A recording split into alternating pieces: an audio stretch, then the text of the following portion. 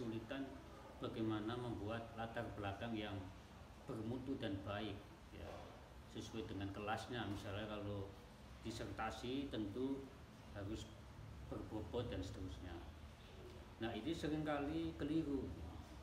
Banyak mahasiswa yang melakukan uh, kesalahan misalnya sebuah latar belakang ya, itu ditulis dengan seperti ceramah itu alinea alineanya tidak ada datanya ya kemudian hanya deskripsi-deskripsi tanpa data.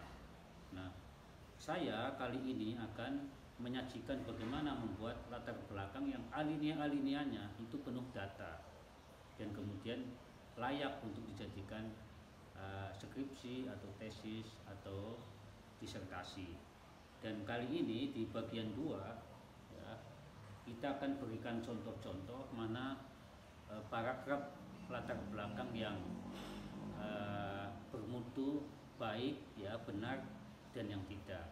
Mari kita ikuti ya uh, di sini ya nanti kita akan lihat bagaimana ya ya perhatikan dengan baik ya. Cara menulis latar belakang skripsi atau tesis atau disertasi yang baik saya berikan beberapa hal ya yang perlu diikuti ya e, pertama Urian-urian latar belakang harus mengacu pada judul, skripsi, tesis, atau disertasi. Kedua, disarankan memulai dengan alinea secara induktif, ya, secara khusus, ya, berdasarkan fakta-fakta, ya, data-data. Boleh sih dengan deduktif, tapi induktif ini lebih tajam, ya. Kemudian yang ketiga adalah paragraf paragrafnya kaya akan data dan yang keempat adalah menggambarkan urgensi penelitian. Kelima, berusaha mengisi kekosongan penelitian yang belum banyak dilakukan. Kalimat-kalimatnya efektif. Ketujuh, hindari kutipan langsung terlalu sering ya, karena kalau latar belakang itu ditulis sedemikian rupa sehingga dia merupakan apa namanya deskripsi-deskripsi yang penuh data ya, efektif kemudian tajam. Nah ini yang sering kali uh, sal, tidak dilakukan oleh uh, beberapa mahasiswa atau kesalahan-kesalahan yang sering dilakukan. Kita ke slide kedua. Ini saya akan memberikan contoh paragraf latar belakang. Ya. Misalkan saya ambil dengan judul Moderasi beragama melalui pendidikan dan kegiatan pramuka. Studi kasus di SMA Kartasura tahun 2018 ya tah 2000 sampai 2020 jadi kita uh, misalnya mengambil contoh judul seperti ini ya. Nah ini contoh satu. Ini ini latar belakangnya kita perhatikan. Apakah latar belakang ini baik atau tidak baik ya bangsa Indonesia sedang menghadapi terorisme yang hingga hari ini belum selesai perang terhadap terorisme menghadapi banyak tantangan. Dalam menangani aksi terorisme, pemerintah kurang melibatkan peran masyarakat dan lembaga-lembaga pendidikan. Kurangnya keterlibatan masyarakat dalam pencegahan terorisme berakibat pada tidak efektifnya pelanggaran pelak penak pelak penanganan terorisme di Indonesia. Kebutuhan untuk melibatkan masyarakat kini menjadi sebuah keniscayaan. Nah, coba di latar belakang alinea pertama pada contoh pertama ini ya itu seperti ceramah ini.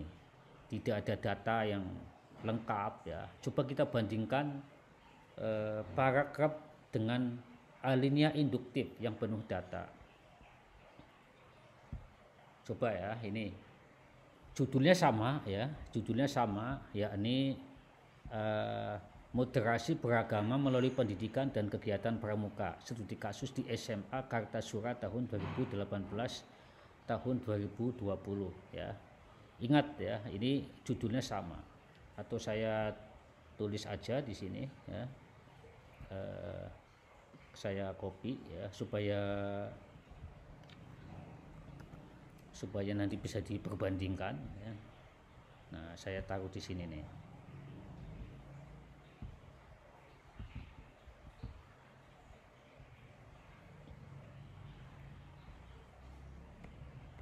jadi judulnya kita buat sama ya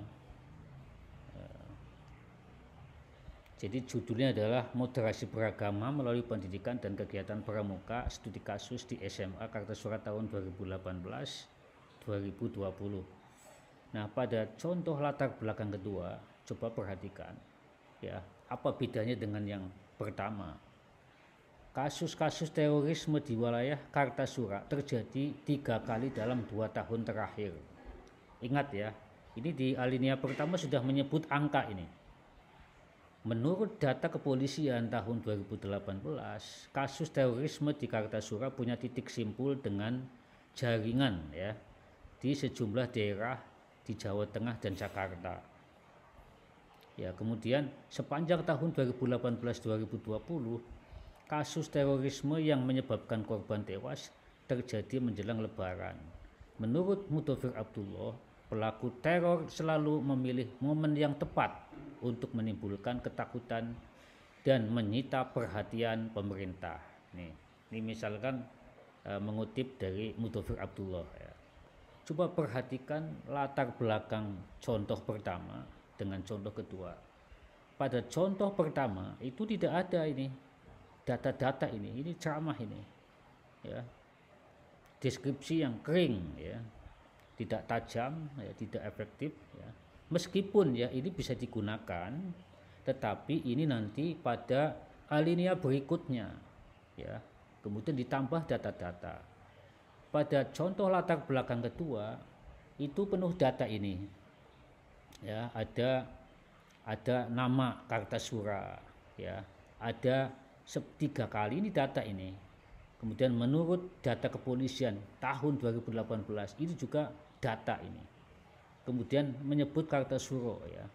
Titik simpul dengan jaringan ya dan seterusnya dan seterusnya. Ini menunjukkan bahwa pada alinea contoh kedua pertama latar belakang ini sudah betul dan layak ya eh, dianggap sebagai alinea yang berbobot tajam dan ini bersifat induktif karena berangkat dari eh, apa namanya berangkat dari fakta ya yang sudah ada. Nah mungkin teman-teman ya eh, tidak tahu apa yang disebut induktif dan deduktif. Kalau induktif ya itu berangkat dari eksperimen-eksperimen dari data-data di lapangan, dari wawancara, ya. ya walaupun ini kemudian uh, berasal dari apa namanya data, ya, bacaan, tetapi ini disebut kalimat induktif karena dimulai dari kata-kata wilayah Kartasura, ya, kemudian dua tahun terakhir, ya, dan seterusnya. Sedangkan deduktif itu apabila dimulai dari umum ke khusus, yakni menyebut cakupan yang lebih luas ya, kemudian mengkerucut ke satu fakta. Ini boleh tetapi tidak dianjurkan. Ya. Nah, kita ikuti slide keempat. Nah, pada slide keempat, keempat ya, ini penjelasan tadi.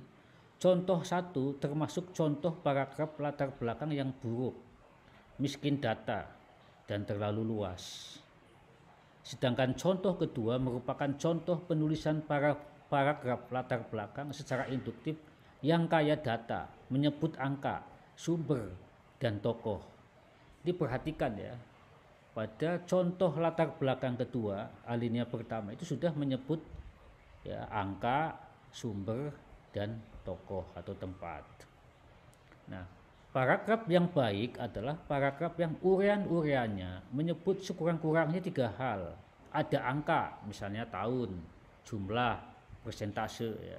Kemudian menyebut tokoh, orang, tempat ya, masyarakat, instansi dan lain-lain. Menyebut teori, misalnya konsep, istilah, definisi dan lain-lain. Pada contoh kedua telah menunjukkan ciri-ciri itu atau ciri-ciri latar belakang yang baik ya. Kemudian pada slide berikutnya, ya, setelah kita membuat latar belakang, ya, tadi tentu alinea alineanya harus lebih panjang ya, sesuai dengan ketebalan dari skripsi atau disertasi dan biasanya latar belakang pendahuluan itu 15% dari keseluruhan total skripsi, tesis atau disertasi. Nah, setelah itu semua barulah kita membuat identifikasi masalah, batasan masalah dan rumusan masalah. Ini yang sering keliru ya, membuat identifikasi masalah itu sama dengan batasan masalah. Sebenarnya itu mudah. Ya, ini identifikasi masalah itu diambil dari latar belakang. Ya. Jumlahnya harus lebih banyak dari batasan masalah dan dikerucutan dikerucutkan dengan rumusan masalah lalu final di rumusan masalah ini biasanya untuk S2 dan S3 kalau disusun dengan angka sebagai berikut misalnya identifikasi masalah itu ada enam nih. Satu dua tiga empat lima enam dan seterusnya. Nah menyebut ya dengan pernyataan atau pertanyaan boleh ya. Nah, kemudian kalau batasan masalah, karena identifikasi masalah itu mengidentifikasi, menginventarisir masalah-masalah yang muncul, lalu dibatasi supaya penelitian itu tidak terlalu luas. Nah, ini batasan masalah. Misalnya dimulai dengan kata-kata merujuk pada identifikasi masalah yang ada, maka dibatasi masalahnya sebagai berikut.